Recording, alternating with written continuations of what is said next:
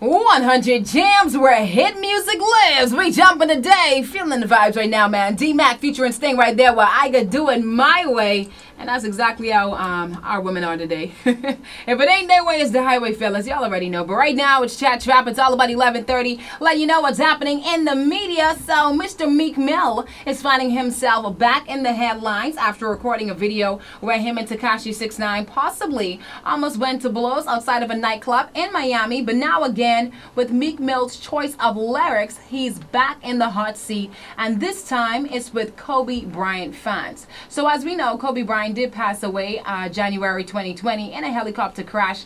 And in a preview of an upcoming collab with Meek Mill and Lil Baby, people are paying very, very special attention to Meek Mill words and if, and he stated, and if I ever lack, I'm going out with my chopper, it'd be another Kobe. So fans found this very insensitive and disrespectful. However, Meek Mill thinks that listeners are just a bit too sensitive. But of course, he was making reference, you know, saying that, okay, he's like Kobe, he's legendary as well. And so, yeah, but I mean, Kobe death is still it's it's still big. A lot of person are still hurting from it. And I just don't think now is the time. Maybe two years, give it two more years, and then say something in reference to it. But maybe possibly she'll left that alone. But moving on, rumors of retirement have been following the phenomenal tennis player Serena Williams, and after her loss to the now star player Miss Naomi Osaka, Serena seemed quite emotional, and she was asked if the gesture meant that she was saying farewell. So Serena stated that she doesn't know,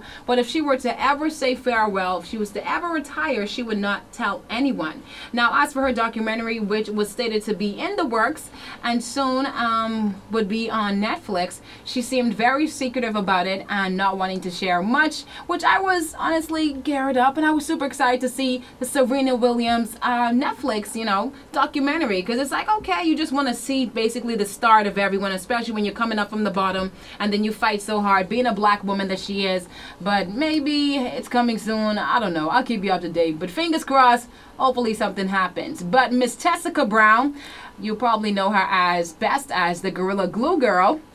And you know, when she first when she first had set up her account on GoFundMe, she'd only ask persons for fifteen hundred dollars, fifteen hundred dollars to help her with the surgery. But she did get um a black doctor, can't really remember the name right now, but he did help her out, and she's finally uh, gotten the whole gorilla glue out of her hair. So it's just good to see that that that is that um, saga is completely done with.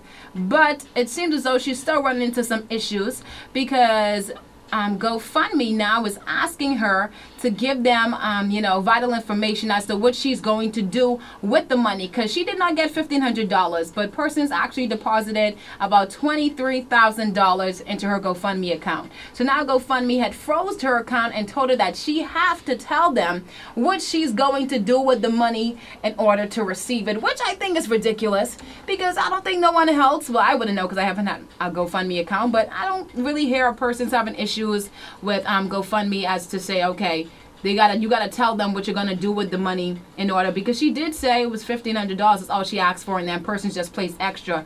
But a lot of persons are saying that it is a fraud, which at this point you can see that it wasn't. But I don't know. Hopefully things change up. But I did see a lot of other persons started using the Gorilla Glue to go viral as well, which is just ridiculous. People would do anything these days. But just before we end chat, I've got to let you know what's happening at the front page of the Tribune. So now the Deputy Prime Minister yesterday voiced optimism that water and sewage customers are prepared for price increases as he hinted they will no longer receive their first 3,000 gallons for free. And Desmond Bannister, who as Minister of Works also has responsibility for the corporation, said the government has little choice but to drag the water utility into the 21st century following the economic blowouts inflicted by COVID 19 and Hurricane Dorian. Oh boy, it looks like we got more trouble coming our way. But pick up a pick up a copy of the Tribune and check out that one because listen, I don't know, sound like the brush is really, really getting tall right now. But that's it for Chat Trap, letting you know what's happening in the media. About to jump back into the mix. Got her right here with damage.